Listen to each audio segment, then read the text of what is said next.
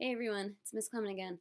I just wanted to go back and give you a video on this um, Secret Annex tour. It is absolutely amazing, and you want to follow this because it's going to give you a pretty good indication of how the Franks and their company lived in the annex. It wasn't just like an attic that you and I are used to in this little, little room above our house. This gives you a whole visual representation of where they lived and who got what room and so on and so forth. Click this, it's going to bring you to this website.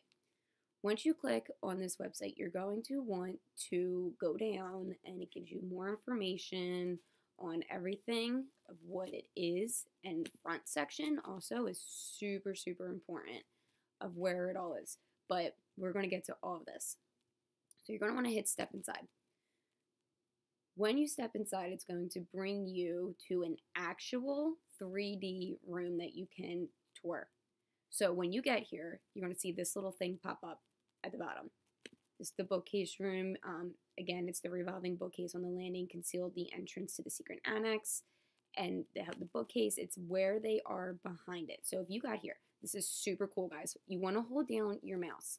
When you hold down your mouse, just move it around the cursor and it literally gives you a 3D point of view from what you would be seeing if you were here.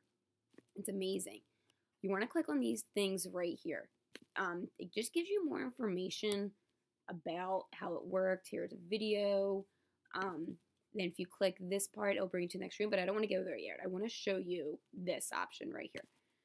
Click this first. This is the secret annex right here, everything that we are going to be looking at. But I think it's important that you see that this would really be like the front entrance right here. So this building, let me see if I can go back and get it. So if you're on the street, this is what you're seeing. You're seeing this building right here, and that's what this is. Same street, just looking here. So if you go through here, this is the attic on the inside. This is, again, this is Mr. Frank's office. Just brings you a couple different places in the front of the building. So let's just click this in the office. So this is what you would see. Just from the outside looking in, it had just pretty much an office. You're going to meet these people as you read and going back and forth.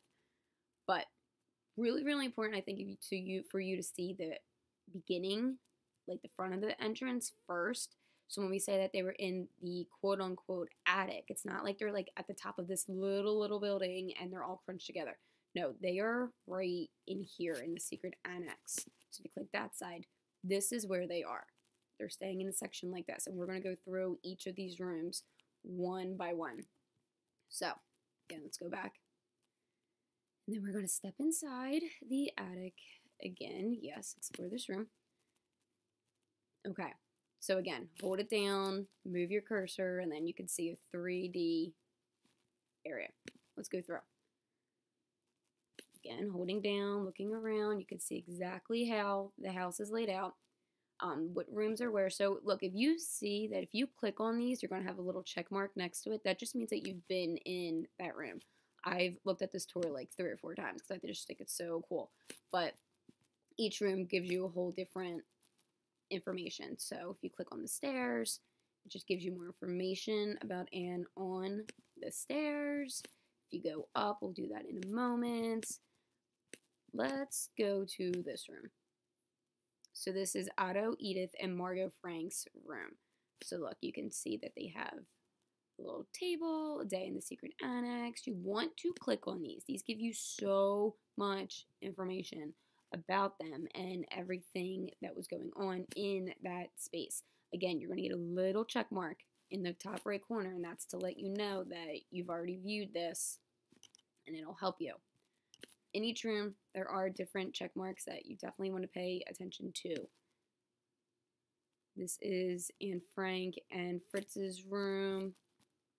Again, looking around, you could see everything. Definitely, definitely, definitely. I don't want to click on everything because I don't want you, I don't want to give everything away. But look, see, there's her diary. We're getting all of this. This is a huge beneficial benefit to you that you could see literally where everybody was. And if you get confused, that's completely okay. You can just go back and click like okay, you're at the bookcase, you're at the entrance, you're at Otto and Eve, you're at Anne Frank, then now you're in the bathroom. Um, if you want to go to like Mr. and Mrs. Van Daan, you can just click it this way and go through and make sure that you hit every room because it can get a little confusing. There were a couple times I was like, was I in this room? Was I not? So this is helpful to you that you can just go back and forth and see where you have been, where you have not been, and it'll help you. Okay.